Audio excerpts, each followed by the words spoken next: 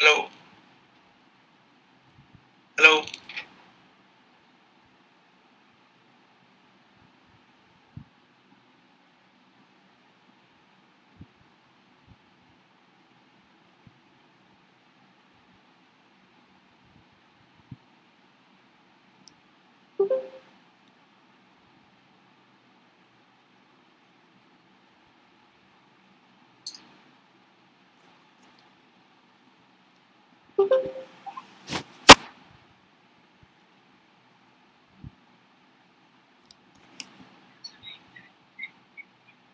আচ্ছা আচ্ছা ঠিক আছে ঠিক আছে আ- আ- আমায় দেখতে পাচ্ছ তো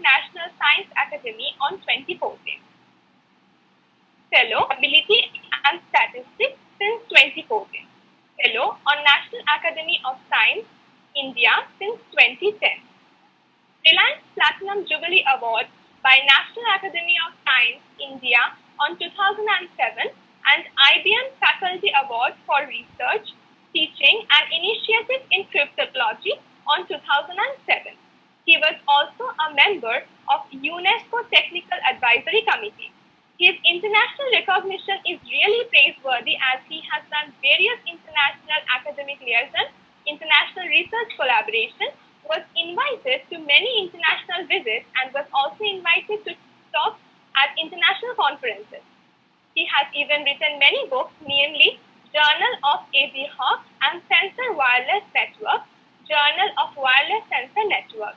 He even served as a principal investigator for all the sponsored projects on cryptology. We are really honored to have such an esteemed personality among us. Now I would like to request Mr. Bimal Kumar Roy to please start the session on fundamentals of big data analytics. Okay. Thank you. Thank you very much.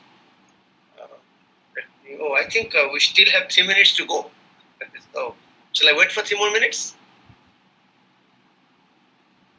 Rajlakshmi, shall I wait for three more minutes? Okay, sir. Okay, let's let me wait for three more minutes. Sure, sir. Sure, sir. You can wait for three more. Okay. Because you answer, I think you announced four o'clock, so let me start at four o'clock. Yeah, yeah, yeah. So, how many students do you have in the college now?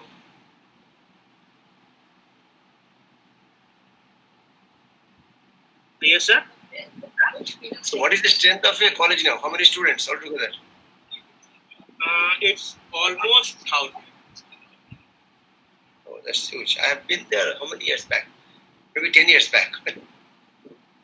Oh, on, on, I think on similar occasion. oh, I see.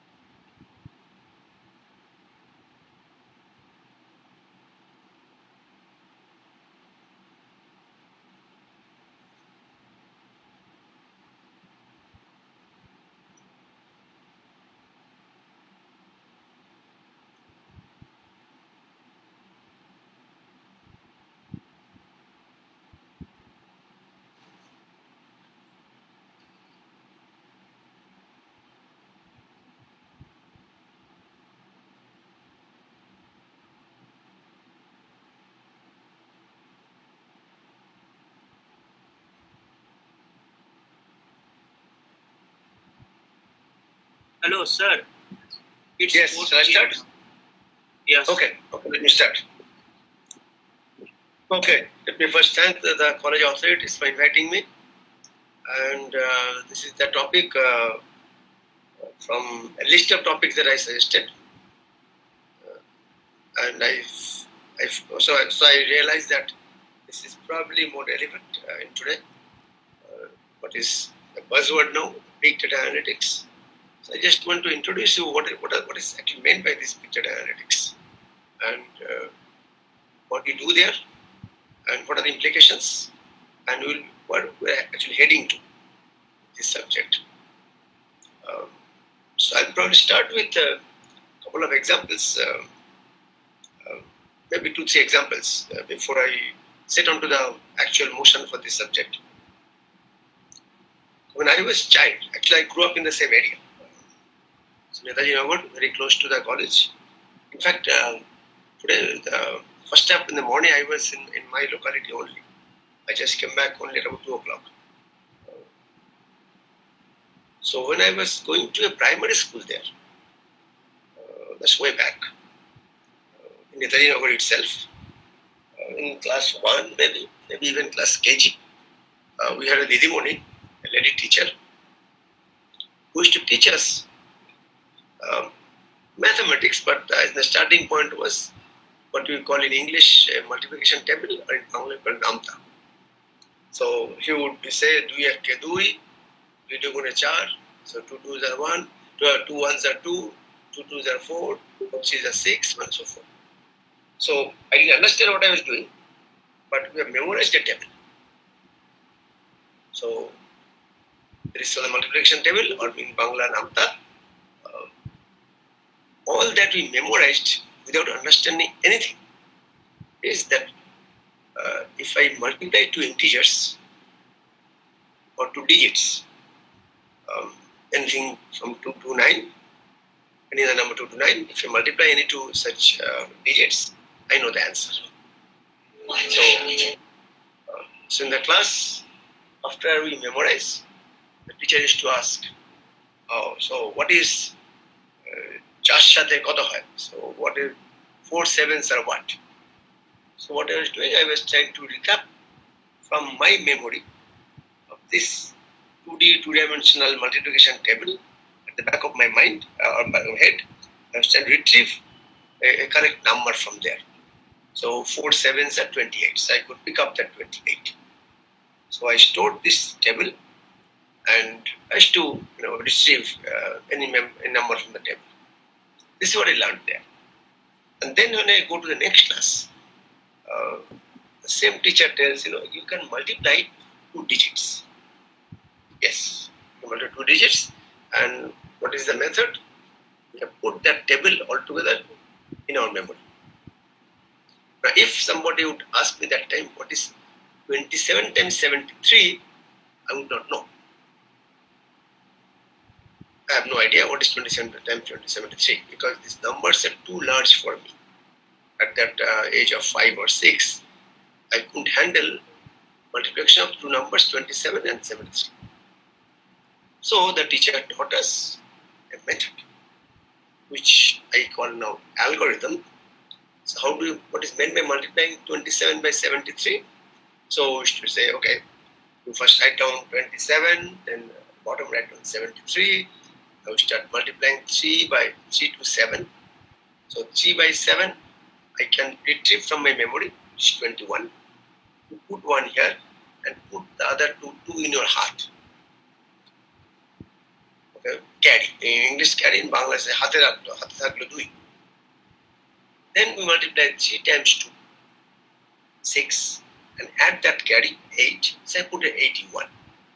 Then below, below 1, I put a cross. And then I multiply 27 by 7. So 7 times 7, 49. 9, 4. and uh, 7 times 2, 14 and 4. So 1, 18. So we write on 18. And then we just add digit by digit. Okay? And that was the result, which is when we're multiplying 27 by 73. So what we did, as a child, I could handle my memory and my retrieval power how to multiply two digits. The numbers grow, say two digits or three digits. The teacher taught us a method or an algorithm by which actually I can multiply any large number with any other large number. Okay, so um, if you give me two large numbers which can fit into a, a single page, I can use this method and I can multiply. I can multiply when I can multiply in, in my class 1 or class 2. If I say 2, 7, 3, 5, 9 times uh, 8, 9, 4, 5, 3, 4, 1, I can multiply because it's going to hold in the page. You know what, what happens the numbers are such that you cannot hold on a, on a single page. Then again I would fail. So as the numbers grow, our methods change. So then when we come to college, I learned something called an algorithm, multiplying, and I can include in, in a computer, the computer RAM, which is the page where I'm working on. The RAM is pretty uh, large, so I could handle larger number. Now it might again happen that uh, the RAM, uh, sorry, ROM, not RAM, RAM, RAM, uh, RAM, that's a RAM, because we do all the computations at the RAM. Now, if I have to multiply numbers even larger than that, which RAM cannot hold, then what do you do? Then again, we have learned techniques uh, in computer science, use you know, linear linked lists, uh, write one large number as a uh, linked list where each of the members in each node is manageable by my RAM. So then we'll just write down another algorithm to multiply two large, very large numbers which are represented by two linear linked lists and we can use the capacity or the size of my RAM and we can multiply those two large numbers. So doing that, we can now actually multiply, uh, doesn't matter how large the numbers are.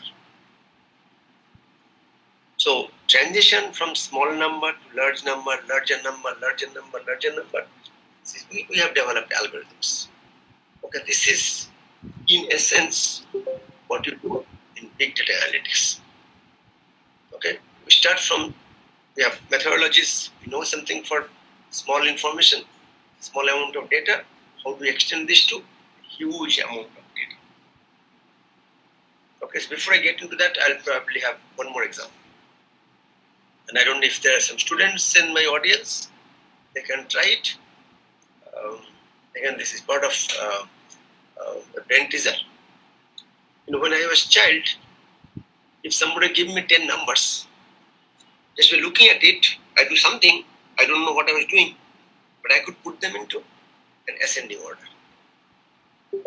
Well, some smart people could do that with 20 numbers. Some smart people could also do it with 25 numbers, but nobody could do it 200 numbers. Okay, so what you have learned when you come to the college in the first year, we teach people what is called a sorting algorithm. So this means if you have a large number of, you know, a, a huge amount of these numbers, uh, and I can sort it. So we have learned methods like bubble sort, selection sort, insertion sort, quick sort, merge sort, tree sort, all kinds of sort, heap sort. So this sort, these sorting things actually will sort any number of elements. Again, as I told you, my limitation is I'm doing with the computer. The RAM of the computer is my limitation. So I cannot really sort numbers which requires a memory more than the memory of my RAM, which typically 32 GB or 64 GB. So if I have numbers more than 64 GB, then I will fail. Okay. So we have to evolve another method of how to sort more numbers, which needs more than 64 GB for storing. Okay, so I'll ask you an exercise, small exercise. Suppose on a piece of paper, you can write down five numbers and you can sort them. Okay, but on, a, on, on your page, you cannot get more than five numbers. And then you are given 20 numbers to sort. So what you do, you can pick up any five numbers from the 20 numbers, do whatever you like on your piece of paper, and then you can send it back to the memory, uh, to the, the external uh, page. You can bring back and forth. But finally, you want those 20 numbers to be sorted. Okay, I think a student can do it with some, uh, with a little bit of uh, you know, effort and attention. And that's what I would say handling big data. So, uh, big data analytics would be doing analytics. Again, I didn't say what analytics. What I told, handling big data. Handling big data needs. Uh, I don't say. I, I would not say it needs fundamental uh, uh, shift in paradigm. Will be using the basic theories, principles, what you do in not so big, huge amount of data. But if you can extend those ideas, those methodologies, but the number amount of data is huge. This is what is called big data handling. Now comes to analytics. So what do I do? What is meant by analytics? Okay, so I'll again talk of story. What I mean by analytics. Uh, so you know, way are most of us are here Bengalis, so we have a habit of drinking tea. So uh, I drink tea, you tea. In fact, if I go to a, visit a friend's place or relative's place, they will offer me a cup of tea with a, two biscuits. And you know, this is not a Bengali habit or Indian habit, it's a British habit. The habit of drinking tea was brought to us by, by British. And we got uh, adapted to this habit. So, likewise, if I go to a friend of mine in Britain, if I visit that person, um, the lady of the house will offer me a cup of tea, and they don't say biscuit, they say cookies and a few cookies. So here we put two biscuits uh, actually on the dish beside the cup, but there they put the cookies on another plate in, uh, in the middle of the table. So you are offered a cup of tea. Now, till 20 25 years back, tea was always served with milk and sugar. Now we have a lot of varieties, a lot of fashions, a lot of likings, dislikings. So some people take black tea, someone maybe green tea, someone maybe white tea, someone with sugar, without sugar, with milk, without milk. So all kinds of varieties. But even 25 years back, we didn't have all this concept. You just go to a house to this simple, usual black tea, okay, paired with milk and sugar, and you served. That is a British style too. So this story goes to uh, whom we consider the father of statistics, Sir Ronald Fisher. So Ronald Fisher was actually teaching in Cambridge. The story is uh, about 100 years old, and that gives you the birth of what I mean by analytics.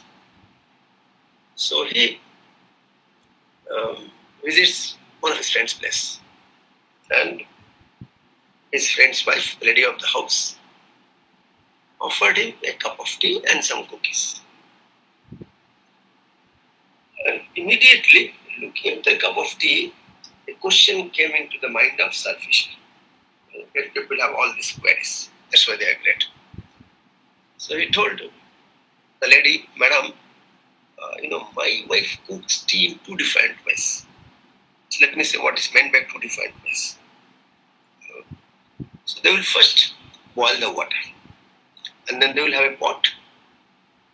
So where they will put the tea leaf, and then they will pour the boiled water onto the tea leaves, and then allow to brew it for a few minutes. Sometimes sugar is added while brewing, sometimes not added. So after some 5-10 minutes, they will filter the uh, this uh, water with uh, tea and water. And then if they did not put sugar while brewing, they will add sugar and they will also add milk. That happens always after the filtering. So water is boiled, poured on tea leaves and it is brewed. Milk is added after filtering. There is only one choice of the sugar. You will put the sugar along with the while brewing or after filtering. So um, he asked, her, Madam, uh, when did you put the sugar? While brewing or after filtering? And Madam said, you know, um, I always put sugar after filtering. And then he asked, any, any particular reason for this? He said, because if you put the sugar while brewing, the tea tastes horrible. Okay? Now comes the analytical mind of Sir Fisher play. He tells, Well, are you sure? Or is it just your belief and conviction? He says, No, I'm absolutely sure. So now comes a scenario where the lady is claiming something. That the tea, when prepared, if sugar is added while brewing, tastes horrible. And if the sugar is added after filtering, tea tastes much better. How does one validate this belief? Okay, so we said, okay, now comes the actual analytics here. So, how does he validates, or she validates uh, her claim or belief? It just maybe that she thinks she can, but actually she cannot. Okay, so said, okay, madam, well, let me, let me trust you, and but let's play a game to validate your belief or your conviction or maybe your truth, whatever. whatever. I don't know what is the truth, but let's play the game, and at the end of the game, we come to a conclusion. Okay, and often it happens in everybody's life, every every scenario, every industry, every government, every context. We formulate beliefs, and we have we have supporting data or information which will be used in an analytical way so that we can come to some meaningful conclusion. So this is what is basically analytics. Now, in this case, there is no data, so he has to generate the data. Okay, so his analytical mind is looking for data. So what could be data? So he says, okay, let, us play this game. Madam, you make two pots of tea. When making one first pot of tea, you add the sugar while brewing. And for the other pot, you add the sugar after filtering. And then your milk is added later. You give me these two pots. So the madam agrees. Madam brings two pots.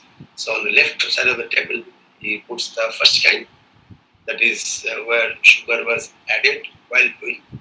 On the right hand side of the table, puts the other pot where sugar was added after filtering. Okay. And now you say, Madam, you give me uh, 10 cups. So she gets 10 cups. Now you get 5 cups. He writes at the bottom 1, 1, 1, 1, 1, first method. And he puts or he pours tea from the first kettle on, on my on this side of the table uh, to these 5 cups. And on the other 5 cups at the bottom, he writes 2, 2, 2, 2, 2 and then pours tea from this pot to these five cups. So these five cups, my left, is of type 1, where sugar was added while filtering, no, while brewing. And this side I have got another five cups but tea was, where sugar was added after filtering. Very clear, very clear distinction. So now what Sir Fisher does, he just you know, randomizes, move this way, that way, in such a way that you don't understand or you don't know which cup has got one or two at the bottom. Just mixed up. So now uh, he tells madam, you take one one cup, give a sip or two, and tell me, is, is this type 1 or type 2? And madam says, oh, this is very simple. I'll just one one sip and I'll know which one is type 1, which one is category, which is category 2. Because uh, the first method, you will test horrible because sugar was added while, while brewing. Second test, what will test good because tea was added after filtering. Uh, so I'll tell all the 10 correctly. He said, no, no, that's okay. Um, let's play the game and see how many you can tell correctly. And he was father of statistics. So he told, okay, you know, in statistics we allow some error. You don't, need 100% correct. Still we can make inferences. We do allow some constant of errors. So here, let me see one side. If your belief or conviction is true, you will tell all 10 correctly. Right? And in case your conviction is not true, that means you cannot distinguish between what is this kind or that kind of tea, then you just make a, just a random guess. And how many you can tell correctly? Roughly five of them. So telling five correctly gives you no information at all telling 10 correctly gives information that you can actually distinguish. And your claim is true. Let me allow some error, say some 10%, 20%. So let me assume that even if you tell one mistake, that means if you tell 9 or 10 correctly, then I will assume that you are right. I will validate your belief. But if you tell less than 9 correctly, you have to agree that you have got uh, only belief, no sound scientific reason that uh, your belief is correct. So she agreed. The game was played. So she took one one cup and had a sip. And you know how many she told correctly? Just seven. So she has to accept the defeat that uh, that the tea where sugar is added while brewing tastes horrible is only her belief. She has no scientific reason to establish that. Okay. This is, I would call the first instance of analytics. And here this was even, even better because, uh, see, we want to understand something, something, something, something from the data. So here Data was not there. He created the data. Okay. Now, modern days, when you say analytics, uh, the data is not really created. The data is actually available. So we have to we have the, the data, and from the data we want to make some inferences. So ultimately, what is analytics is that we may have to generate data, but that's not mostly the case. We have plenty of data, and from the data, we want to uh, make sense out of it. What does the data speak? What can we infer from the data? What do you understand from the data? And that's what is called analytics extracting information from the data. Okay, so the standard methods. Uh, again talk about uh, two more examples. This is uh, two of the projects in which I was involved personally. So the first one was counting tigers. You understand what is data. So, uh, so we want to get an estimate of how many tigers are there in the Sundarbans area. And this we did this by about 20 years back, around 20, uh, 2000, 2001. Now, you cannot go to Sundarban and just meet every tiger, shake, shake hand with the tiger and count them. Tigers are not going to come to you. and you, you don't see tiger anyway. But still you have to count the tigers. So what is adopted there uh, a different method. We should count tigers by their pug marks, the footprints. The first time I understood the term. In Bangla, we have a proverb or idiom. So you get 18 scratches if a tiger catches. So I didn't, I understood the meaning of that that time. The tiger has four feet, the front two feet, it has got five, five, I think four toes, and the rear feet have got five toes each. So four plus four plus five plus five. I think five in the front, four at the back, the rear. So 5 plus 5 plus 4 by 18. 18 tools. And that's why we got the Bangla idiom. So you get you get this. And what is the habit of these tigers? Uh, they are very lazy. They don't like sun at all. I think they are called Siberian tigers. They must have moved from Siberia to uh, down south, down south, and then they got stuck in Sundarban. They could move further. So they are very scared of sun. So they normally stay the daytime uh, in deep, in, deep uh, inside deep uh, the forest under the hetal tree. Okay, only when the night time when there is no sun and they are hungry, they come out for a prey. So they will probably catch a wild boar or a deer or a monkey and will eat. And after eating, they have to drink water. So they come to this, uh, uh, they have called this in Bangla called khari, some rivulets. Uh, so they'll come for drinking water there. So when they drink water, they leave their footprints. So if you just go to Sundarban, I've gone there 10, 12 times. I've never seen a tiger, but I could see lots of pug marks, footprints of these tigers. So this uh, you can see these pug marks. And now they, they had a method uh, of counting tiger even before uh, we, we were engaged with them.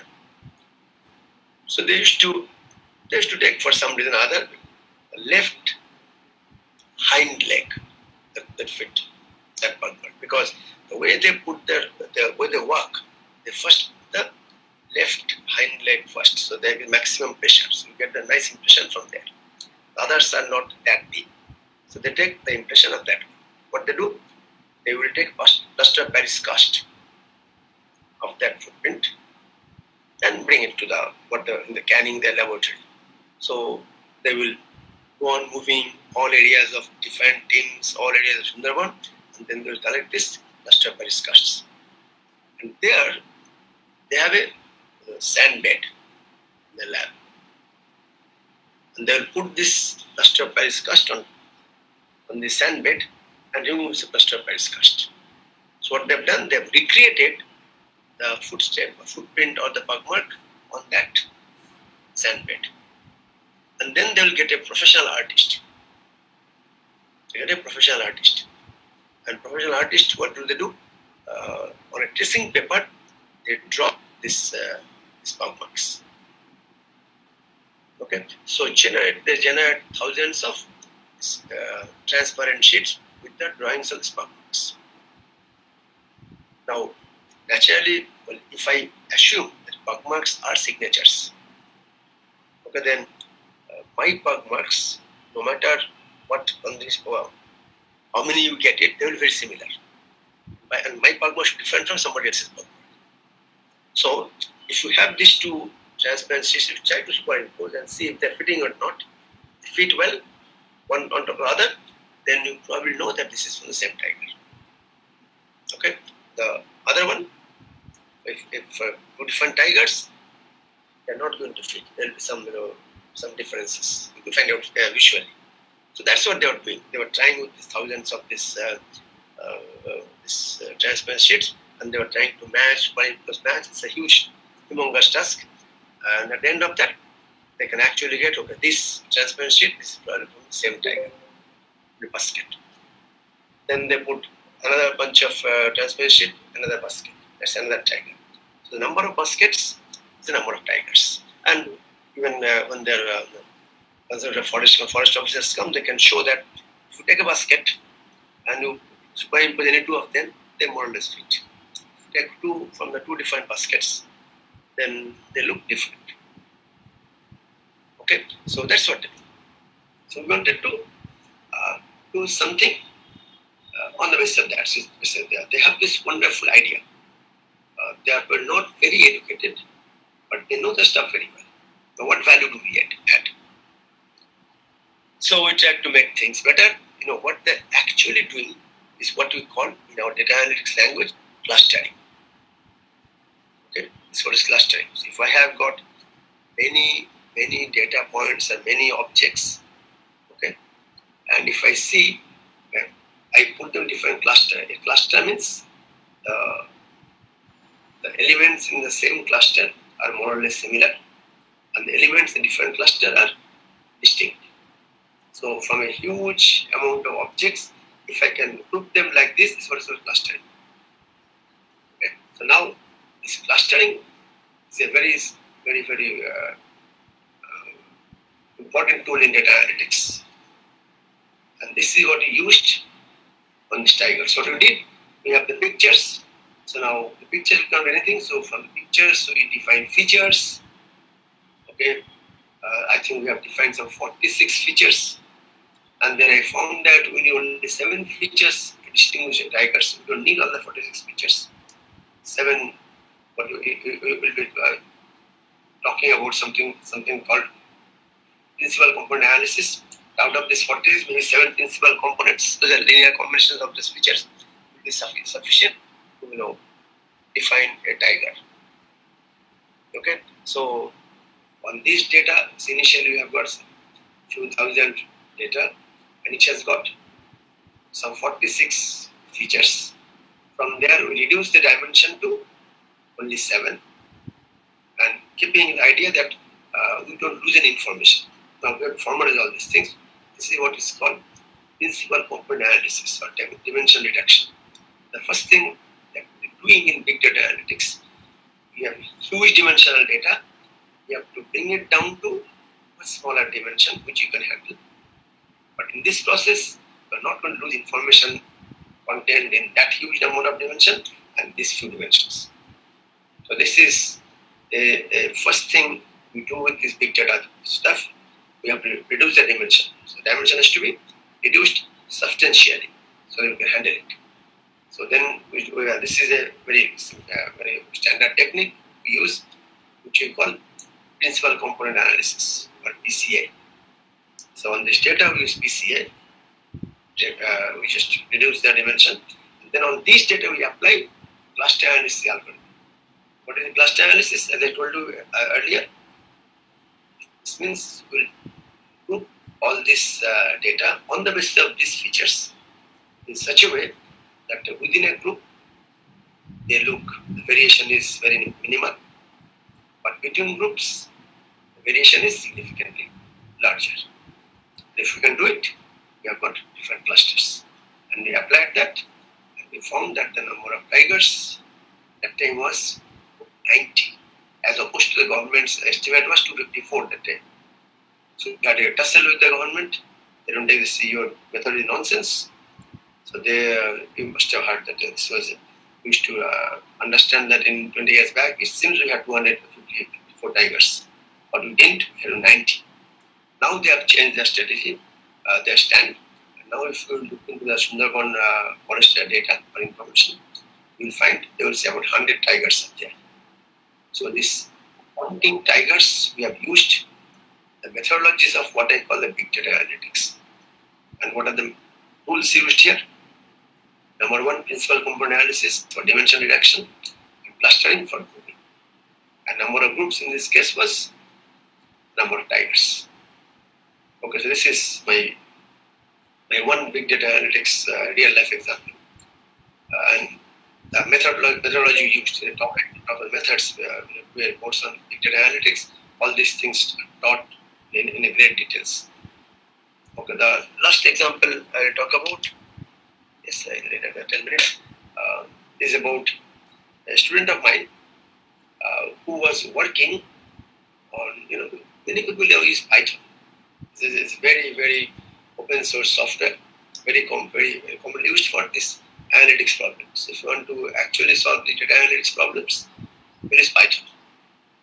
This is uh, very, very uh, popular uh, in the industry. Now, Python, um, when you was working with me, Python had different versions. So Python 2.6, and now it is Python 2.7. I think now it is probably Python 2.8. Uh, but the good part about Python was that if you're using Python, and if you have faced any problem using Python, they have a website where you can actually lodge a complaint that I have problem, this, this is nature. And they would normally address your problem soon, very fast. So once you lodge your complaint on the Python website, a software engineer will look into your problem and will reply how to resolve this problem. Now, most of the cases, these problems are trivial. I couldn't use uh, Python uh, properly. But in many cases, these problems were actually real problems. The problem was with Python. So it's not the fault of the user. Then they rectify it, make it more user friendly and so on. Okay, so those are called, you know, local bugs. So there are, there are bugs. Now, so what, what they have, if you get into this Bugzilla database uh, for Python, say database called Bugzilla. In Python, say 2.6, you will get historically all the complaints about Python. And they will write against each complaint, whether this was just a meaningless complaint, if it is meaningful, is it a serious complaint or a trivial complaint? Okay, some are trivial complaints, some are very, uh, very serious complaints. Okay, so they have this data. And at that point of time, I think they have felt that 2.6 is probably not that reliable. So they get a new version, I thought 2.7. And they claimed that this is more reliable. I don't know what they mean by reliable. So my the student uh, thought, Bimalda, let's work on that. Is it really more reliable or not? Okay, and we have got thousands of you know, such complaints uh, registered. Uh, that so even 2.7 was there. So even for 2.7, now we have accumulated lots of complaints. So I remember thousands of complaints of 2.6, 2.7 over a period of time, say three, four years. Okay, so for large, for a long period, we have got complaint records for each one. of them. So each, each time to see, can we find a methodology by which we can talk about is the new version more reliable or not? Okay. This is a very deep analytic thought. But they are claiming second new version is more reliable. Now we don't even know what is what will mean by reliability and is it really more reliable. So let's try to do our own. So he he was thinking, thinking, and he came up with uh, an idea. And then he told Bimalda, I have this idea. The idea is very simple. This is this is what is what I call analytics. So you look at a time series of say for 2.6, Python 2.6. You have got you look at the times uh, over the different days for last two, three years. Uh, this bug, this bug, this bug, this bug. The the non-bugs are you just omit because it was the fault of the user. So just drop this. But then they are classified serious bug or not so serious, trivial bug. So you can see over a period of time, uh, let me call one to be very serious bug, two to be not so serious bug. So we have on a time series timeline, they will have a sequence of one, one, one, one, one, two, blah, blah, blah. So we convert this information into these two time series. This is over a period of time, sequence of 1 and 2. 1 means serious bug, 2 means uh, not so serious bug. Same thing we do for Python 2.7. And then he says, now 1 is a serious bug. Now this is his innovative idea, the analytic mind.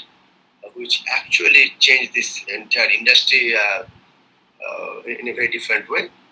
So now he says, you know, if you have more tools between two consecutive ones, that means between two serious bugs, you get many, many, many, many uh, trivial bugs. Okay, that is probably more reliable than between two serious. If you get less number of uh, non-trivial bugs, that means if serious bugs are more sparse, then this is more reliable than if the serious bugs are not so sparse. How do you measure it? So between two ones, how many twos are there? So look into two consecutive ones, how many twos are there? How many twos are there? How many twos are there?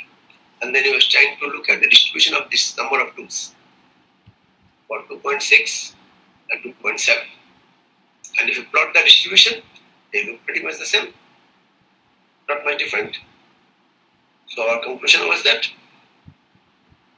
Python 2.7 is probably uh, not more reliable than 2.6.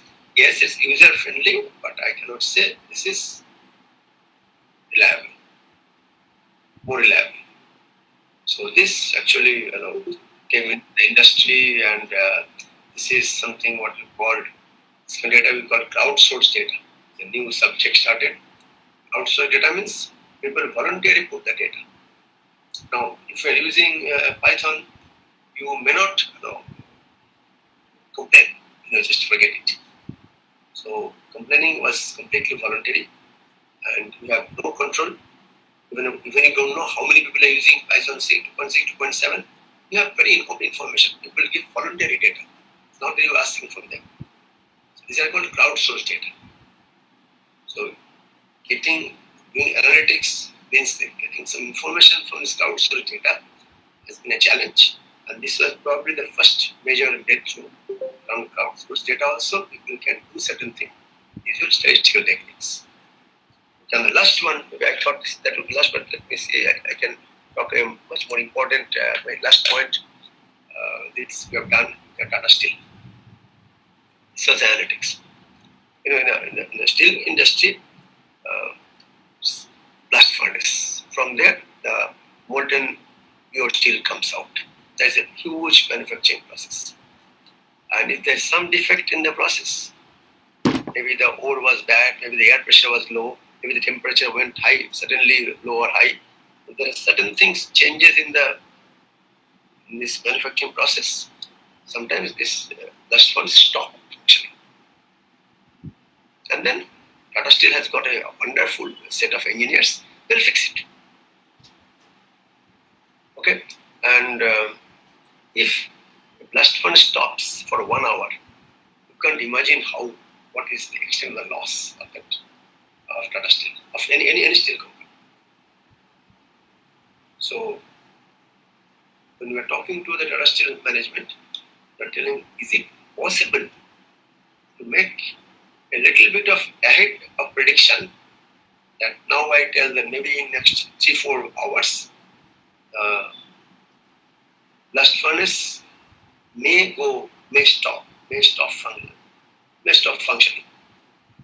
If we could do that, then they took a preventive maintenance already. The engineers will already start working into it, look in the process again, try to fix things if there's anything wrong, and so that in that three four hours they take care of the problem, the blast furnace stop. So they were uh, asking me, is it possible to make a some kind of prediction uh, little ahead of time, maybe four hours, maybe three hours, maybe two hours, so that we can have a what they call preventive maintenance. And then I, I looked into the data of all the failures. You have to understand what is meant by failing. But there are many, many, many factors, variables that is involved in this production process. There are 60 such factors which actually affect this production process. They have the data, all these 60 factors, they normally, in every 10 minutes, they record it. They put sensors and they record it.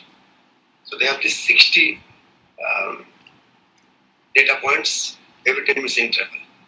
And they have record of uh, these failures. That this point there was a failure. And the engineers found this was a problem. So they have a huge failure, record. So last five years there was about 30, 40 uh, times the blast furnace uh, stopped. And they have five blast furnace they've stopped. So they have a huge amount of data. So we have to understand the failure in order to predict failure. This is very important in analytics. So there is something called in statistics. Uh, I cannot. This is part of a course. It needs a few lectures to uh, cover this topic. What you call logistic regression. So here we try to make a prediction of failure at some point of time. Now, if we predict, say the probability of failure in next four hours is 0.8, that means that's a trigger. It immediately goes to control room, and the engineers start looking into the entire process, and they uh, do what they call predict, predictive maintenance. And adopting this analytics procedure of logistic regression, what you call predictive analytics, is called predictive analytics. I'm trying to do something ahead of time. Okay, and then immediately they can uh, find out the reason. And once they find out the reason, they can tell you have to do these, these, these, these modifications so that it doesn't stop. That's what is called prescriptive analytics. You're given a prescription. Predictive analytics, you're finding possible what is going to happen in future. And then if the future turns out to be bad for you, then you to identify from these processes uh, what could be remedy, what step, uh, uh, what steps should be taken for its remedy. That's called prescriptive analytics.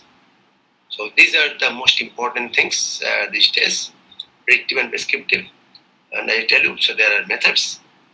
Uh, so basically all the methods come from statistics. But since uh, you have to handle with a huge amount of data, computer science plays a very important role. Our standard usual statistical methods cannot handle huge amount of data.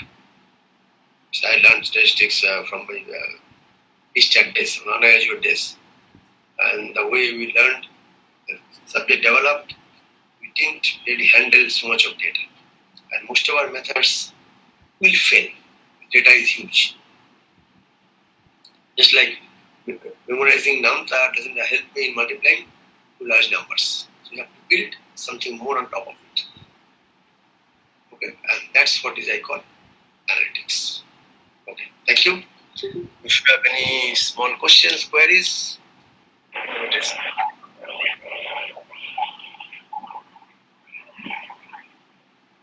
Yes.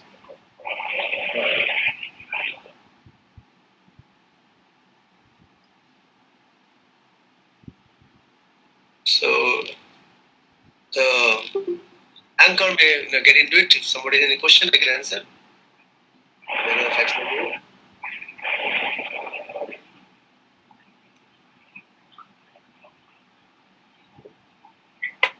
Thank you so much sir, for joining us today. We are extremely grateful to have you within us. Thank you so much for your valuable words and precious time. People like you will always be the inspiration for today's generation. Okay, okay, thank you.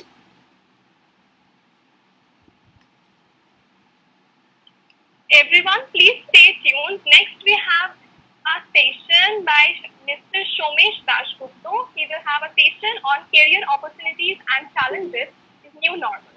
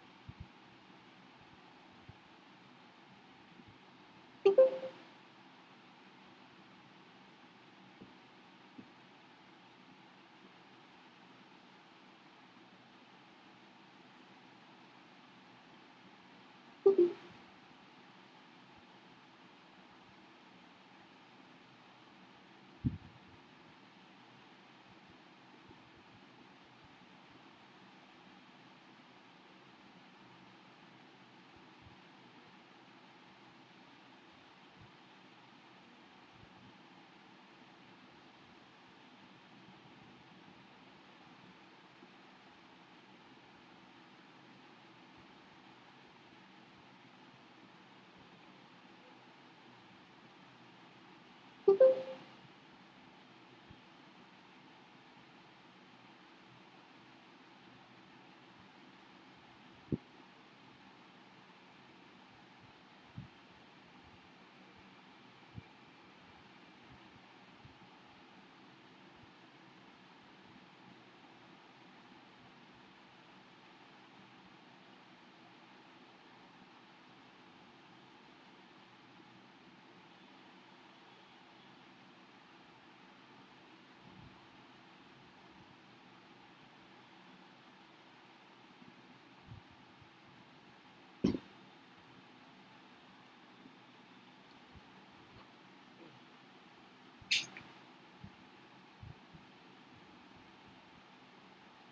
よし。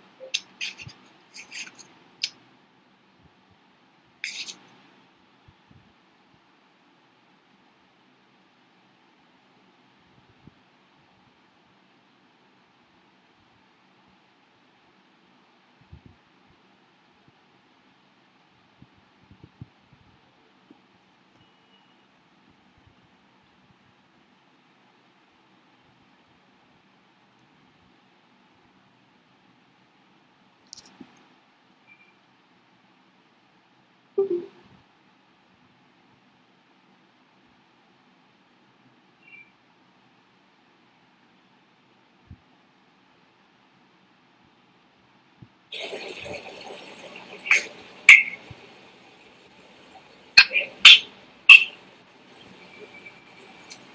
everyone. We are very thankful to get a very successful and well person influence among all of us.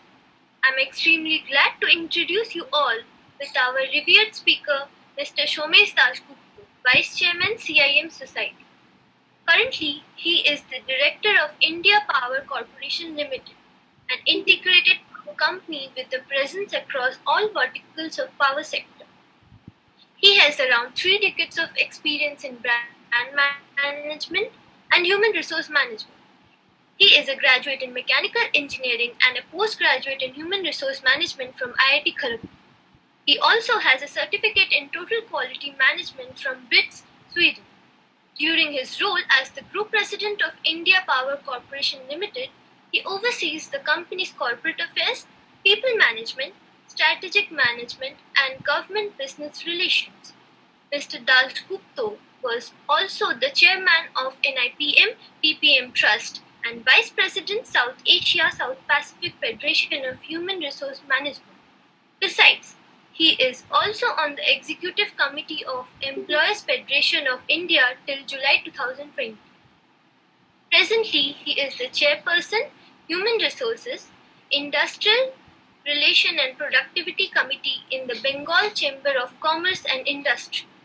Now, I request Mr. Somesh DasGupta to convey your valuable lecture on career opportunities and challenges of new normal. Thank you. Thank you, Madhupurna. Uh, my audible and it's okay. My audio is okay to all. Yes, sir. I at the outset, I welcome you all students, teachers, all senior people, management representative of CIEM on a very special day of yours today. Today is your 18th anniversary of the college. Uh, and I'm very happy to note that you are celebrating that entire day, different knowledge-based sessions, workshops, and other, other things, which is very good. Uh, last two years, um, I'm connected to the college. Because initially, Mr. Azizul Haq and Imran Sur invited me to join in the college, and I was there, and then now I'm the vice chairman of the board of the governing body. And in my interaction with the different people in the last two years, I realized that the college is a different type of college. The, the reason is it is not any promoters-driven college; it is a trustee-driven college, and it is a dream of a legendary and visionary person, Prasanta Sur. And Prasanta Sur has a lot of ambition for education. I know that, and he has conceived the idea of the college, and he promoted that college. So, with that particular idea that, that they can offer a reliable education to the community, there will be a transparency in the system in terms of the cost, in terms of the quality, so people can get a good education in terms of uh, pay, pay with a reasonable rate. So I'm happy that we are celebrating this 18 years, and I'm confident that you boys and girls will go from strength to strength, and uh, after completion of your uh, year, the 90th year will come, and ultimately the college will excel to your strength. Today, uh, Milan has discussed with me today's the topic. He was talking to me that what should be my point of discussion today. I was telling that now only one thing is available in India, in the world, that is the pandemic, uh, this COVID coronavirus. People are all living to a different world now. Maybe somebody may say that corona period, post-corona period, so uncertainty. So much better that uh, infected people are basically affected people are affected people are basically uh, sorry sorry affected people are basically uh, students because your your future is important. So in my presentation today, I will talk to you for three things. First of all, I will discuss about what is the challenge industry faced during this pandemic and this uh, COVID-19 uh, uh, outbreak. Number two, I will discuss in the corporates or industry what were the innovative ideas to overcome these challenges. And this innovative idea was has come from the compulsion. So when something comes from compulsion, that is the genuine and stable. So for the purpose, I discussed something corporate level and industry level. What was the uh, what was the measure we have taken to face these challenges? And when these two things will be discussed, so you will be are, you are aware that how the industry is facing it. Then I will say something about your topic, which is called industry expectation, your preparedness, how you can groom yourself post-COVID or new normal situation. So I will try to restrict my presentation as much as much as possible in my time. Then I'm also expecting that some question may come because when I'm talking to the students, I always love to answer their questions uh, rather than giving a one-way communication to all people. So I'll leave an interaction so I am expecting that I'll get some question from your side, your clarification from industry person, and I'll try my level best. My representative will be from the Bengal Chamber of Commerce, chairman of the committee, and also as the director of the board. So now uh, let's discuss the matter. It is okay. I think the format is okay to all of you. So, so now uh, let me start my first part. challenges faced by the industries. You might be knowing that in month of April, when really this uh, outbreak has started, COVID part, in the month of March, we have zero idea about the impact of such a Because we never come across this. So the first challenges to the industry, commercial houses and corporate the uncertainty of the particular one. See, uncertainty is such a thing which is very difficult to predict. And went to uncertainty in the month of April, we are uncertain. In the month of May, we are uncertain when it will be over. Till today, we are in the end of the August. We don't know actually what will happen within two months or three. So the biggest challenge to industry that is the uncertainty. Because uncertainty, unable to measure that, you cannot chalk out your plan, your strategy, everything depends on the time period. So if it is for two years, we can do something. For two months, we're doing something. So here, company and industries are unable to manage the show because they are not very certain about the time. That's the first challenge. Second challenge was we have no past experience. Last hundred years, we have not, never come across such a situation. So we don't know when we are realizing that everything is closed.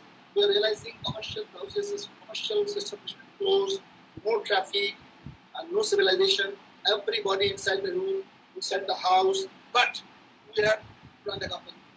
We supposed to run the company without a single support from external world. So that is a something very, very new thing, and we have no experience to handle it in last decades.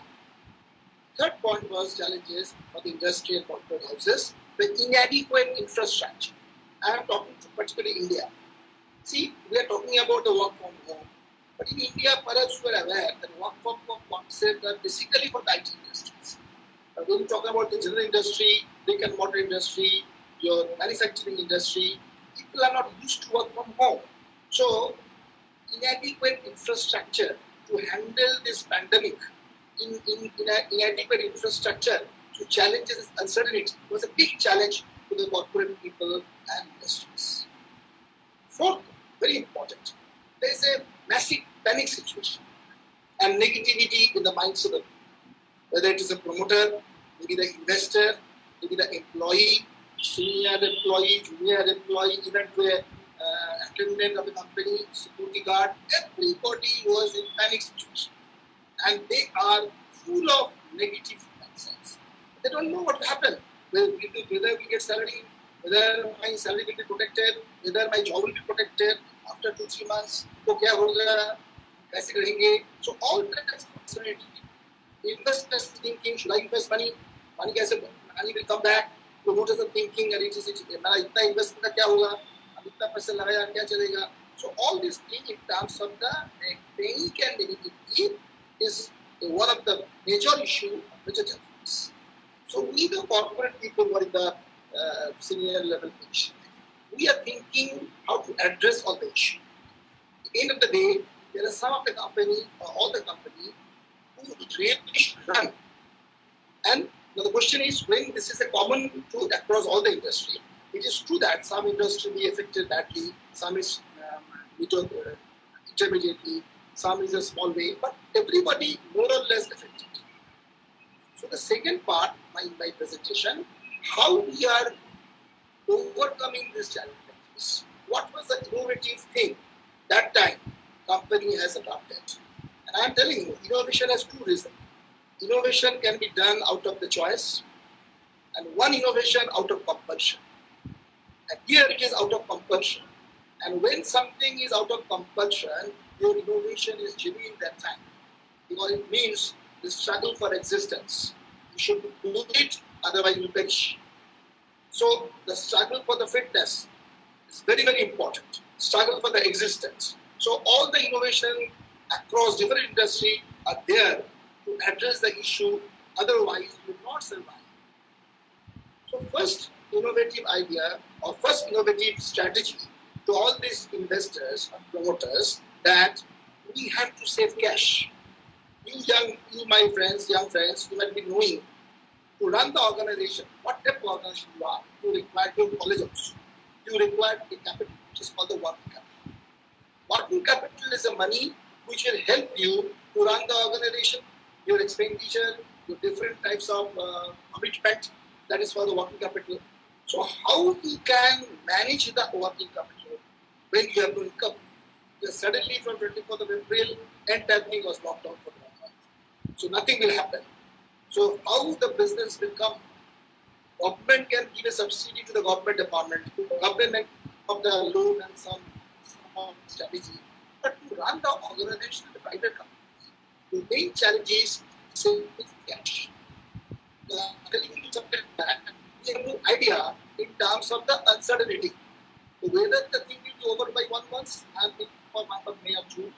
Somebody may say four months. So desperately, management first call is to save cash so that you can preserve the cash and use this cash rightfully to manage your work. So the first, second point, innovative approach company has adopted, and that was we are discussing in all of the people. Cost reduction. It means we have analyzed all industry, analyzed what is the wasteful practice. We are may not be aware with the hardship comes before that. What were the wasteful practices? Is there any unimportant cost? Is there any admin support which can be avoided? Is there any support service cost which can be suspended?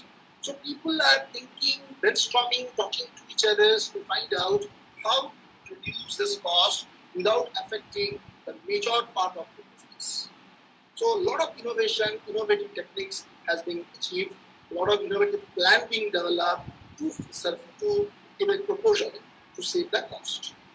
Third point, irrespective of any sector, whether it is power, manufacturing, IT, banking, service, tourism, whatever, people are thinking how to do a new organizational structure. People realize that existing way of working will not happen. Not happen. We should run the business in a different style, different organizational structure. So organizational structure development and implementation of that also was very, very important that time as a strategy. That was the third one. Fourth one, revisiting job role and function.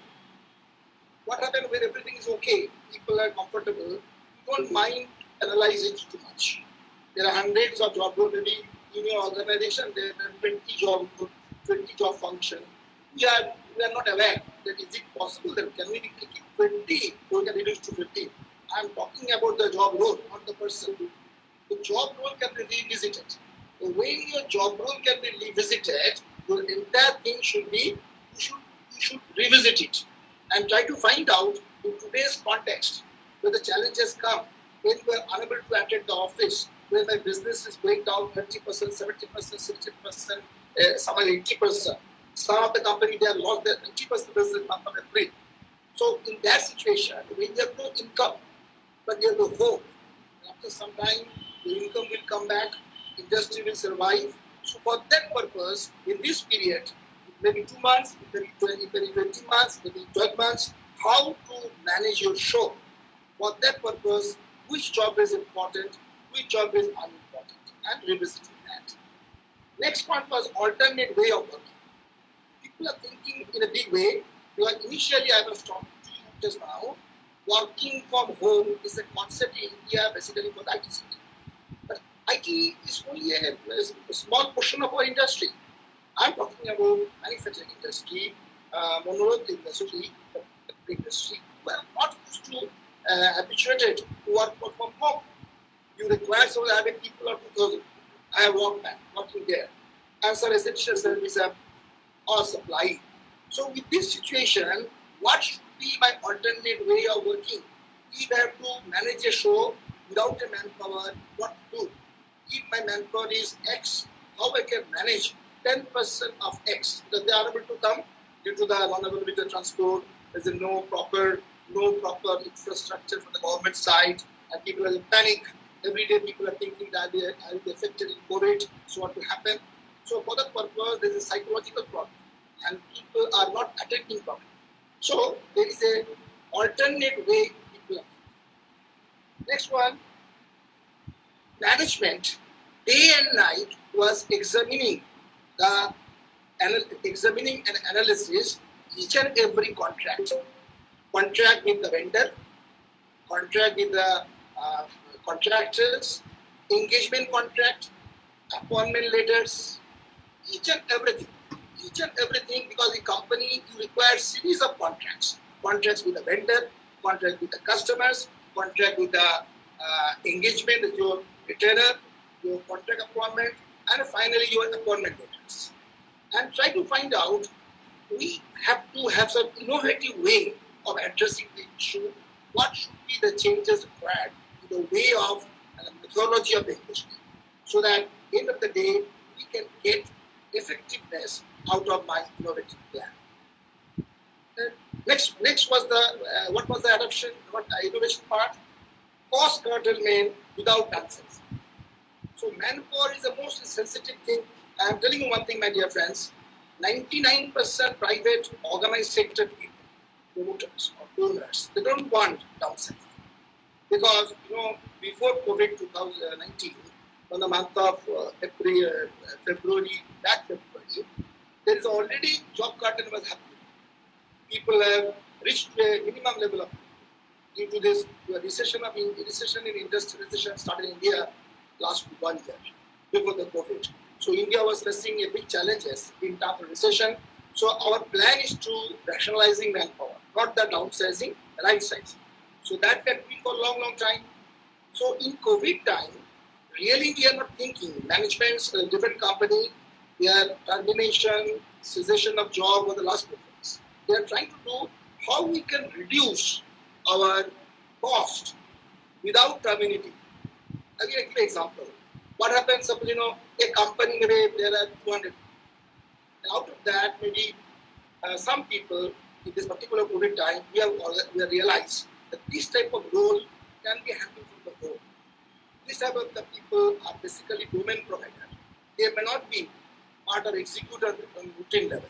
So that type of thing, if you offer these people that see now we cannot continue with all the people like same service change. In your case, you are operating from your home. Maybe your home is in Pune, Delhi, Bombay, Calcutta, whatever. My company is maybe any location. And we required you for some function, for some domain, and your contract and engagement will revisit. I may tell him that you are supposed to give you X, I'll give you X 2 or X by 3 or 30%, 40% of X. So that my cost curtailment is effective and the person I'm offering to somebody, he has a time to other jobs. Because you know, I am a, I am a domain provider of suppose finance. I'm a domain provider of the secretariat, domain provider of some routine function where I have a good knowledge. And when I'm realizing that my same company don't need me for full time, I can do two, three companies' job sitting in my own home. So when I'm sitting in my own home and doing three companies' job, basically end of the day, end of the month, my, my income from the three company more or less same. So companies are first revisiting the possibility without permanently terminating some people, even to contract members, how we can alternate arrangements of engaging them. By the process, they may they may uh, compromise something of the remuneration, but end of the day, they are not out of. That was that was the part we are, we are uh, discussing that time. Here, one thing also very important when we are talking about uh, uh, cost curtailment. Cost also we have done in our company, done other companies have done that there is a different level top management, middle management, and executors. So we have decided as a player from the industry that mostly will not touch the executors, the low income group, starting from because these people are really struggling in trying times. So company generally, or organized sectors are already in the motion to support them. But the leadership team can afford for some time, but the senior management, there is a lot of innovative approach to suspend their salary, not to curtail. Suppose you know somebody is getting X, I may say 20 30% of your X of X salary component will be not paid today. It is your investment in my organization. And when the crisis will be over, we'll send the money back to you. So you are part of the crisis. You are donating or you are contributing some portion of your salary to our CTC, to my investment. So when my good day will come back, six months, seven months, one year down the line, that money will be given back. So the senior leadership team is okay, they're happy, they are thinking that yes, I have to lead the organization. Suppose if I'm getting X, I have to manage the license time with 30% lower than the X. And by this process, company is saving money. There are some fringe benefits which company are paying to employees other than salary. Leave encashment, your um, LTC, traveling advances, all of them. So companies are coming with a solution. With the solution, see now in one year we cannot entertain all this. Nothing is discontinued. Everything will be in the system. But right now, for one year, we cannot do all this. So that will be part of your cash reserve, company required cash. I want to maintain my cash, not spending the money which I can avoid. So that is called the cost curtailment. So I am telling you, effective work has been done. In last four or five months, as a Chamber of Commerce, we are interacting with the association in my power sectors. Know, we are a, I am part of a emergency service. So from very first day, I cannot stop my function. I am supplying, we are supplying power in Asansol and and most industries are shut down. So first one month, for one and two months, our revenue was dropped down to 70 We were getting 30%. But we have to supply. We have to have a continuity. Same here in Calcutta. So when we are supplying some essential commodity, my all operations should be intact. I cannot close down my substation. I cannot close down the office. I cannot close, close down my uh, generating station. So, as people who are in the job, there's a panic in the family. I will not need my husband. I will not need my son. He will be problem. So, company has to arrange their logistic, counseling, talking to the people, their family members, no problem. We are giving the protection. Then your husband, son, or father will be working in the company. Company will take care to other needs, something required. There's no public transport. We'll do that. So this type of thing substantially get organizing and we're reducing costs. So this is certain thing, and this is this is the one way of management management. Management also puts a lot of time and energy to train their people, which is very very important. I said to you, in India, 80% organization other than IT sectors, they are not used to work work so when I am, suppose I have a, uh, there's executor of 20, the 40 people are part. These people supposed to work in their home. They may not have a computer, they may not have a system of working for telephone, they may not have a proper uh, bandwidth, they may not have a proper communication. So train them properly and tell them, see, on rotation you can come or you are work from home for this time, utilize this tool. For this period, we'll pay your bandwidth charge, everything. So by the process, there is a continuous training was going on from the organization to the people, how you can make yourself habituated in new normal. We're talking about the new normal situation, how you can work in new normal, maybe you are working for 30 years in the company, your age maybe 55, 56, you are uh, near to retirement also. But that time also, there's change required. And to bring that change, continuous there is interaction. And that we are calling your training in our language, training and retraining. Retraining your people and reskilling. Reskilling, training, and also counseling. When you are counseling your employees, there are four level of. Why four level? Because suppose you are the employee, suppose you are. Employee is passing through the four levels when the COVID times. One is the personal level, my personal worry, my personal panic, my personal threat, negativity. So I have to counsel you overcome your personal problem. But that is not enough. I have to be there for the second level, which is called the social level. You have to work in society, the pressure from the society, the demand from the society, they're not allowing you to go out, they're creating you a lot of problems. मत जाओ, मत करो, मत जाओगे, झगड़ा हो जाएगा, ये होगा, ये होगा. So you have to encounter the social part so there's a continuous training required from the management side to the people in social side. So personal, social. Next is the profession. I should I should have a conducting training or counseling to the people what type of training you require now. Suppose you are sitting in a home for two months, three months, you cannot come to office. At this time, there will be continuous learning programs, online, on, online program, virtual program. So we will impart you education, we will impart you training, skill, commercial, and other knowledge, so that you are recruiting you after the post So in the two three months, company will be arranging a lot of professional training for the people. So the job which you are not supposed to do you should do it after the COVID. Last level, which is very important, spiritual. Suppose I am convincing a person personally, socially, and professionally, but that is one part is missing. I am unable to make the person mentally stable. To create a problem mindset, mentally stable, we require to train him spiritually. Because spiritually, we have to tell them this is nothing. These challenges is will come. 90% your physical problems are originating from your mental condition. If you are weak mentally, if you are nervous mentally, you are already gone. So spiritually, you have to, there, there's a orientation spiritually. Nothing is difficult. The brighter day will come. So the spiritual orientation, I'm not talking religion, any spiritual thing, spiritual discussion, spiritual interaction will help the person to come out from a service. So each and every company is doing that, organize big companies, so that their entire people who are working there after four months, five months, six months, when COVID will be over, they are the better human resource. They are the much effective human resource. They can contribute in the organization much better way and much bigger. So that was the entire thing in terms of the COVID pandemic. Now, this is my second part.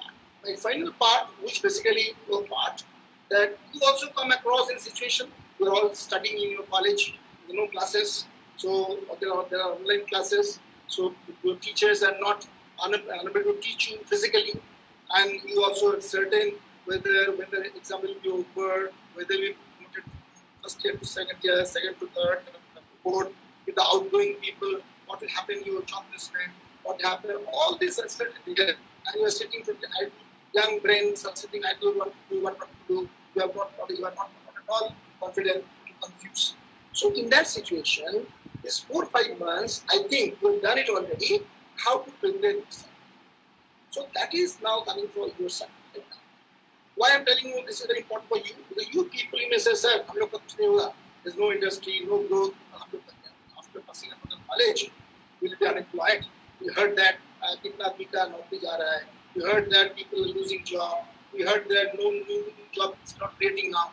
So when there's no job creation, when the existing people have no job, so we need to know what to do. What will go?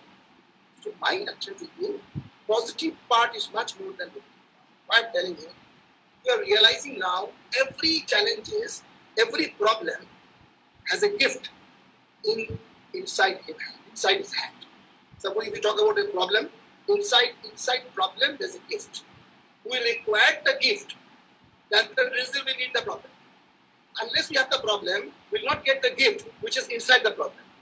So here also, this problem of uh, pandemic or COVID, whatever you said, there is a gift. Gift means it will learn you how to lead a new normal life. It will, it will also teach you to discover yourself, also teach you your inner strength. It also will teach you what was the what were the risk practice we are busy it. We have seen today how rightly, how effectively we are working without a physical contact. I am telling you, in my own organizations, we have measured in last four months our benchmark has increased, productivity has increased, cost effectiveness has increased, we have profitability has increased. Each and every company, they are measuring today that lot of wasteful practice can be eliminated. And this cost has a value, saving of cost. And people realize that I should be more and more, more and more effective for the new normal life. For the purpose, you people are realizing now there is a in India after COVID. I'm talking about maybe uh, the optimistic figure, maybe December or early for the next year. India will come in with the proper shot. The reason is why I'm telling you, you're already realizing all over, all over the world, there's a problem with the Chinese. Not a single country happy all over, all over the world to go away with China. So for the purpose, in the, in the world, if you talk about the worldwide, there are two countries who are at par in terms of the human excellence, China and India. And India, for the last four, five years, maybe seven years down the line, we are neglecting manufacturing setup. We are neglecting, we are putting and putting more and more attention in our in our service sectors. But now time has come, we also started putting our energy, money, thinking for manufacturing setup. I'm talking about Atmanirbhar India. Maybe the Prime Minister given a slogan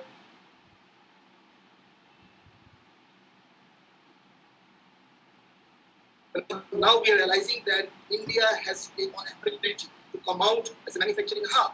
Because it is very true, in service sector. But service sector excellence has a limitation. Unless you have a proper strength in your manufacturing setup, you cannot create more business, you cannot create generation of service. So employment generation, revenue generation, GDP growth, everything depends the country's backbone on two things. One is your manufacturing setup and one agriculture setup. So agriculture, India is always good. We are independent. Now, India we will be more and more emphasis on manufacturing setup, and lot of money will be invested in India, not to outside. So this money will be generated and create more and more wealth inside India. Similarly, other multinational people or other international investors, they have no choice now when they are talking about the human resource excel, when there's a no chance for China and all, they are, they are, they are obviously there are other options in the South Asia, India. Somebody may think for Vietnam, somebody may think thinking for Malaysia, but ultimately India in terms of the human resource, it is at par with India. So the investment will be started coming to India when people will realize internationally that India already oriented themselves towards the manufacturing setup and India is now has a mindset to do both manufacturing and service. So India is a very good prospect next year, 2021 onwards. So you, the people, will be coming out for the future, future business, future job. You have an excellent, excellent because now maybe we cannot say everything because still we are uncertain. Except time. We have to wait for the vaccine and then something will come out. When suppose everything is coming out, we are we are comfortably working in the organization. That time also, the new normal thing will dominate. The new normal thing, all the bad practice which we are which we have done last 10 years in this country. There is no room for the bad practice. We have learned a lot of things at once. I'm telling you that, you know, like this seminar, today we are having a conference. Just think I'm giving a small, example. We are celebrating your college uh, 18th anniversary. So in the earlier times, it might have some monetary, monetary role. You have to spend money for the decorator, your chairs, your table, infrastructure, some some expenditure. Somebody may not be available that day. Somebody may say, I have another meeting. I cannot go to college. Take one hour to go there. So there are a lot of limitation, and you are spending a lot of money. Now the same thing. From the morning, you are organizing to celebrate your 80th anniversary with the same quality and better quality you are not spending money that much. Number one, you are managing people, giving times. Because today I'm, I'm little out of Calcutta, I'm little suburban From here also, I'm communicating you. I know that I have to block myself from 5 o'clock. So for the purpose, it is difficult for me today if physically I should attend your college. But now it is quite okay with me to attending this thing to virtual. So similarly, there are a lot of interactions happening actual uh, virtual platform, which is much effective than the actual reality. So the new normal will not allow people to do wasteful practices. Board meeting, I'm talking about these two troubles. It will be drastically rationalized. Suppose I, I'm a board member of a power company. In my board, there are 10, mem- 10 members. Out of 10, 6 members out of, out of country. So to organize board meeting, people will come to Calcutta, they stay, their five-star hotel stay, their business class tickets, huge expenditure. Now in this COVID time, we have organized three, four board meetings with different companies, all in virtual. I'm telling you that efficiency of my board meeting, virtual board meeting, is much, much better than the actual. People have the time, they can deliver the, their presentation, they're, they're showing PowerPoint, they're chatting, they're talking to each other. Uh, everybody is a free time for their particular, particular that time. So quality of time, no disturbance, and there's no, no extra cost. So people are getting each and every benefit of a board meeting, strategic meeting, over the. So only there's something which is execution that has to be continued. I cannot, I cannot um, supply power to you without going to substation. I cannot generate, I cannot supply you power without generation. So my plant will operate, so my substation will operate. That is only 30 40%. Balance 70% cases, 60% cases, we can revisit that meeting people physically without people, without people can have better results. So you people, when you be joining the industry, joining it, expect two things from you. How smart you are in new normal. People will ask you the question at the time of interview also, in these six months, seven months, what value addition you made on you, what type of investment you have made on you. You are there, only you have spent your time by Netflix and Prime movies or you have done some positive. People must say that how you have divided your, your 12 hours of day in a, in a working day uh, or a holiday. But there no, no, no holiday, people are working today, Sunday, Sunday also. So my question is, you people will be asked question in the interview, this six months, four months, five months down the line, which have spent in new normal period and near future, what was your own investment on you? What skill you have already acquired? Upskilling, reskilling, what type of innovations can be there? If really tomorrow India will be excelling upon even India, or manufacturing setup, who should the chill, energy, skill, like a manufacturing nation? So when you have a manufacturing nation, service nation skill set we have already. We have already the skill set of service service country. But now, as a manufacturing country, we should acquire more and more skill, more and more attitudes to do this manufacturing. And you people who are entering the new organization, there should be a keenness, there should be a chill to you that yes, I can contribute in manufacturing also. I can contribute to plan manufacturing, to sell my manufacturing products, to upgrading my uh, quality. Three things are important Why if you want to maintain as a country for manufacturing, reliability, quality, and affordability. These three, three things, unless you project in Atmanirbhar Bharat, nobody will come, come to us. We should be reliable in terms of our product. People have doubt that China is not reliable, but some Chinese products are so reliable we have seen, but most Chinese are not reliable. So reliability, quality, and end of the day is the affordability. Entire world is rushing to China for the affordability purpose. So we have to know, we have to find out the innovation, a lot of uh, uh, upgradation in the system so that we can go for the upgradation in terms of the quality, in terms of the affordability. So these people, you, the young people who will be coming in the, uh, into our expectation will be, you should do justice with your work, reliability, quality, and affordability. So my dear boys and girls, that is my overall idea, overall, you. Should not be discouraged. There is a big thing coming up. I'm talking about, I cannot say that it will happen tomorrow. Really, there is a positive sign there. Vaccine will come uh, as, as soon as possible. And now also there are a lot of good things coming in terms of the, virus effect. So if everything is okay, maybe from 2021, India has excellent future. Because if suppose you forget about the investment for outside, if India governments taking a decision or state governments of different states, we will be manufacturing the same thing in India now, right now, more than 70% thing they're importing the outside in terms of your industry. I'm not talking about your luxury items. Industrial items.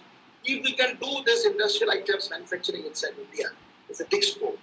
And who will do that? You engineers will do that. You are from engineering college, you have done engineering degree, so you require to do a lot of your job in manufacturing. IT has a limitation. IT that, that will continue. But don't project your work for IT for future. IT will be everywhere. Automation, digitization, that is a way of life. with IT or without IT, do the same thing. Ultimately, manufacturing job also will be IT driven.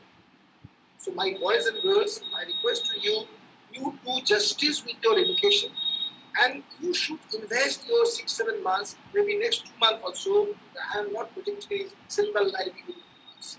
Nothing big thing will happen in this year. It will take some time. So automatically you utilize because this question people will ask you in interview. What was your investment in COVID time? आपने क्या क्या किया आपने क्या क्या new thing upskilling reskilling knowledge enhancement क्या क्या आपने किया have you done some online course about the global village we are in global village paying a small fees we have a course so a lot of uh, upskilling is not possible people will ask you आपने क्या क्या course किया आपने क्या क्या update किया सो so ये चार पांच महीना में आपने क्या इन्वेस्ट किया और इससे some some time for your application so do that if you not started it do that try to do that different qualitative course short term course which has an impact on the management manufacturing which has an impact in data analysis, which has an impact in the process improvement, which has an impact in quality improvement. You should do that thing so that you may say in the interview, yes, I have done the A, B, C, D during this pandemic time. With this, I have a best wishes to all of you, all young people here.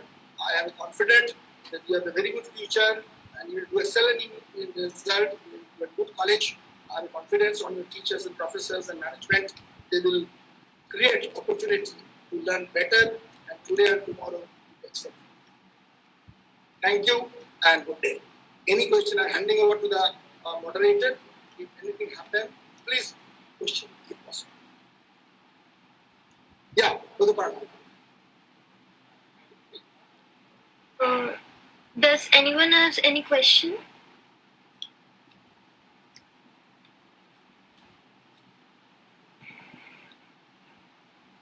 Uh, sir, I don't think anyone has any doubts. Okay. Thank so you, thank you, sir. Thank you, sir, for enriching all of our vision and knowledge. Uh, we are very grateful to have you among us.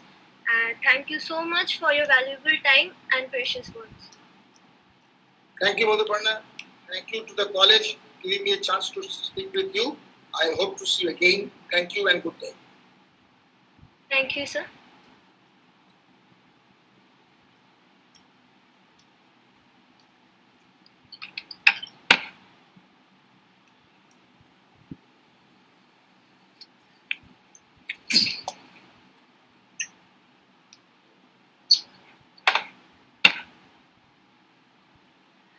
I want to convey my heartily thanks to all of our honorable speakers once again. Now we have reached to an end of our entire program. On 23rd August 2003, former Minister revered Sri Prasanta Sur sir cultivated an initiative for the betterment of professional courses. Day by day, this initiative became an esteemed name among the Educational Institute of Kolkata, gradually. And after a long journey, we are here who are associated with this esteemed institute. During this journey, CIEM has faced lot of catastrophic situation from several aspects, but the term quitting is absent in the dictionary of CIEM. CIEM fought, did struggle, conquered all of those obstacles. Thus, we could observe this, the 18th Foundation Day of Calcutta Institute of Engineering and Management today with all of its dignity and glory. Year after year, several students come to this institute and after the completion of their course duration, they leave. But CIEM remains in their heart for the rest of their life because CIEM doesn't provide friends or teachers, it provides a family. Many students will come and go through this campus, but when the date 23rd August will come in the year, we will get together again like this. With this hope, we are finishing our program here. Again, thank you everyone for joining us and giving it a great success. Now, I would request our principal sir to deliver a few words.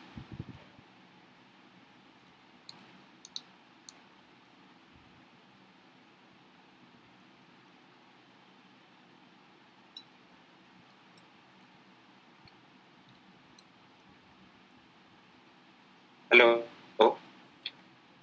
Hello hello sir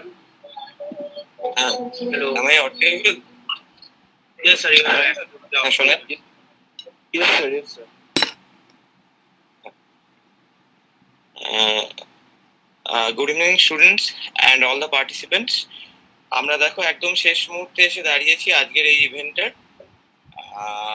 আজকে সারাদিন ধরে তোমাদের সবার চেষ্টাতে আজকে একটা আমরা খুব অল্প দিনের সময়ের মধ্যে একটা জিনিস কিন্তু আমরা করতে পেরেছি। আমি বেশ কয়েক, এই লাস্ট দুদিন ধরে ভাবছিলাম প্রোগ্রামটা কেমন হবে, কীভাবে হবে। কারণ আমরা খুব হাতে অল্প সময় পেয়েছি। আর বেশ কয়েকজন বিশিষ্ট লোকজন আমাদের সঙ্গে ছিলেন। তার ফলে যদি প্রোগ্রামটা ঠিক করে না হয়, তাহলে আমাদের একটা কলেজের প্রেস্টিজের ব্যাপার ছিল। সেই জন্য আমি বিশেষ করে বলব কয়েকজন স্টুডেন্টকে যারা এই দু তিন দিন ধরে নিরলস পরিশ্রম করে এই প্রোগ্রামটা সাকসেস করেছে। এর জন্য আমি সবাইকে শুভেচ্ছা জানাচ্ছি, ধন্যবাদ জানাচ্ছি। আর এটা আমাদের একটা ইউনিক একটা আমাদের এক্সপিরিয়েন্স হলো এবছরের আমাদের এই ফাউন্ডেশন ডে সেলিব্রেশন আর একটা আমাদের কি বলব অ্যানাউন্সমেন্ট রয়েছে। আমাদের স্টুডেন্টরা twenty fifth to twenty eight August একটা ফটোগ্রাফি কম্পিটিশন বা এক্সিবিশন করছে। Intra college virtual photography exhibition lane session এটা শুরু হবে twenty fifth to twenty eight August. আমাদের কলেজের ফেসবুক পেজ এবং আমাদের স্টুডেন্ট আছে যেটা আর একটা ফেসবুক পেজ আছে তরঙ্গ। সেখানে এই এই ব্যাপারটা দেখা যাবে। এই বলে আমি শেষ করছি। সবাই ভালো থাকবে সাবধানে থাকবে। Thank you so much sir thank you much,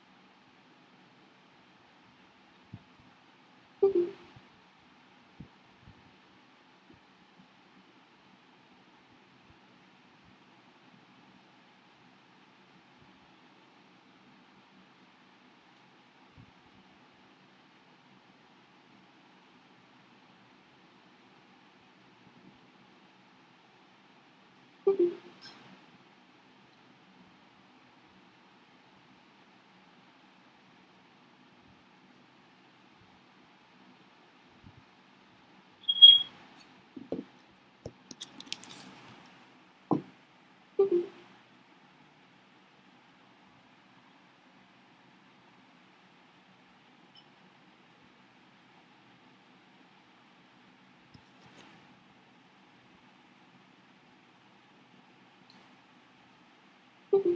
Thank you,